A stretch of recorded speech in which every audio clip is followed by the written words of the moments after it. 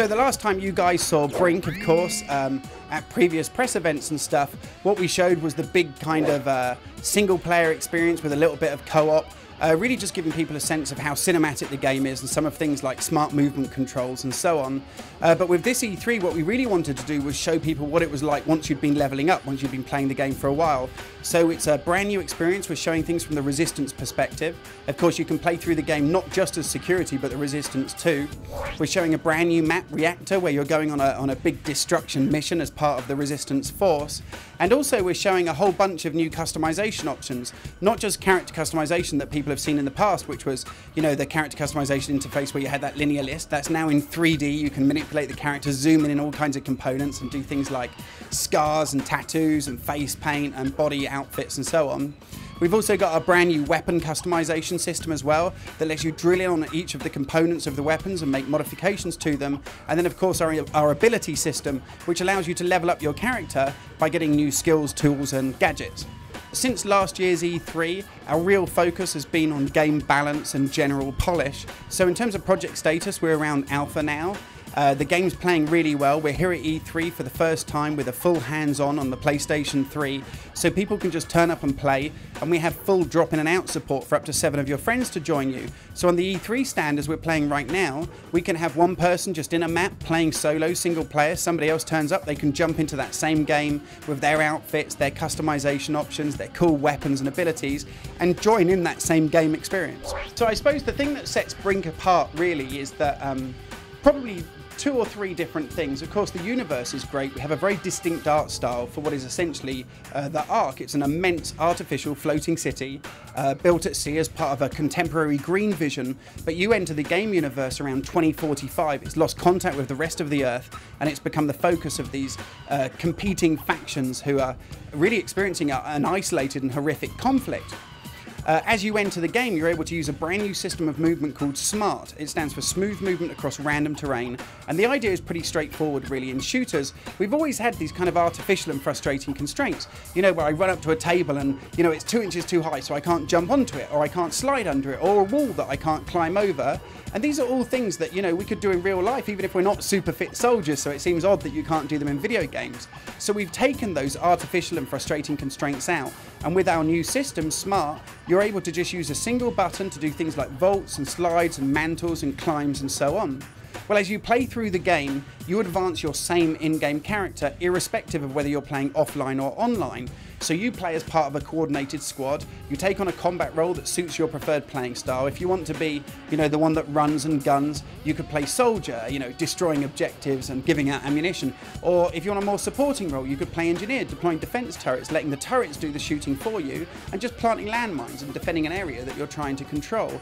But as you do so, you're with this kind of coordinated squad trying to pull off these big military objectives, and you earn experience points for all the things you do that kind of aid your squad mates, and you can spend these experience points on cool upgrades, things like new outfits and new gear, uh, weapon unlocks and upgrades and modifications, new tools, items, and uh, skills for your player.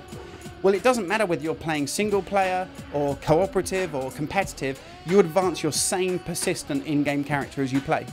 Now, in terms of like uh, character customization, I suppose the main thing is that we know that when you give someone some uh, reward that's purely aesthetic, it needs to be something that reflects their status. So in our game, you get outfits for things like leveling up, and as you level up, it represents to other players that if you're wearing that really badass gear, then they must be a pretty cool player. They've achieved some special things.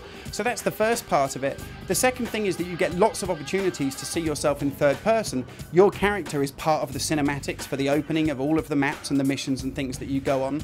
When you complete objectives, you can get cool abilities like a sense of perspective, which lets you drop into a third person camera so you can see yourself completing objectives and also keep an eye out for enemies and stuff while you're doing that. And then uh, finally, of course, it's just the fact that your friends, when you're playing online, can see that you've got this really cool gear that you've customized. So you've got a unique look for yourself. And we think it's really important that, you know, when you play through a single player experience. When you get to the end of it, if you then go and play online, uh, in many of our past games, you know, that was pretty much the end of that character. You've invested loads of hours in it. So we want you to be able to carry that stuff forward, to take that same character that you've really developed and everything playing solo and use that same character when you're playing cooperatively or competitively.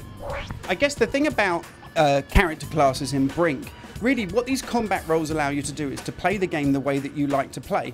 Some people, you know, have a cracking aim and they like to be the guy on the front line pulling off, you know, perfect mid-air headshots and stuff. But there are other players that are much better tactically. You know, they're better at putting down defense turrets, planting landmines, uh, buffing other people's weapons and supporting the team as they move forward. Other players like to play a more stealthy role so they could play operative, you know, sneaking behind enemy lines, uh, disguising themselves as the enemy, getting into their base, hacking into computers, opening back doors, and trying to avoid being discovered. It's actually just as easy to level up and play through the game without firing a single shot as it is to be the best shot on the server, you know, the best shot on, uh, uh, of all the people that are playing. And that's really important to us because, you know, in combat, just like in American football or, or British soccer, there are different positions that have different combat roles or that have different sporting roles, where if you coordinate together as a team, you're much more effective. So when it comes to the art style for the game, really what we did quite early on was hire a brand new art director. His name's Olivier Leonardi. He's the guy that was the art director behind uh, Prince of Persia and uh, Rainbow Six Vegas. And he wanted to bring an art style to the game that was really unique, that was really kind of characteristic, that would give us a universe where, you know, if you see a screenshot or you see uh, some gameplay footage or a trailer or a poster, you just know it's Brink straight away. And we wanted to just have something that was a little bit different, you know, not just another shooter in North Africa or in an airbase or on a, an aircraft carrier or whatever, that had a kind of distinct, uh, a world that you hadn't seen before. So what Olivier's been able to do is really unify the way that the environment looks and the way that the characters look to just give Brink a, a visual style that's quite compelling. Now, of course, with uh, with visual arts of all types, once you decide to be stylistic, you know they're different things to different people. But I think it's a little bit like good music. You know, if you if you listen to a really cool pop song, it's great for a couple of days and then you get sick of it really fast. But when you get a really good music album, something that you know you're going to love forever, you can just listen to it over and over again. But it takes a little bit more time to appreciate it. And I think stylistic art direction is one of those things where you know it can be a little bit difficult at first when you're working out ideas and stuff. Olivier and I certainly argued a lot in the early stages. He has um, I did a developer diary for Bethesda Softworks. And in the developer diary, I admitted that Olivier had been right all along. So Steve Gaffney, our studio director, printed it out on A3 paper and stuck it on the back of Olivier's screen. So if you walk through the development floor now, there's a sign there that says Olivier was right all along, Paul Wedgwood, and the quote and the date that I said it. So I'm really pleased with the way that it's come out and the way that the game looks. Okay, so we're just going to move on to our reader questions section. And the first question is Is there an online ranking system for Brink? Right. Well, you know, we um, uh, at Splash Damage, we've been developing multiplayer titles for about 10 years now. Our first game, Wolfenstein Enemy Territory, was released back in the summer of 2003.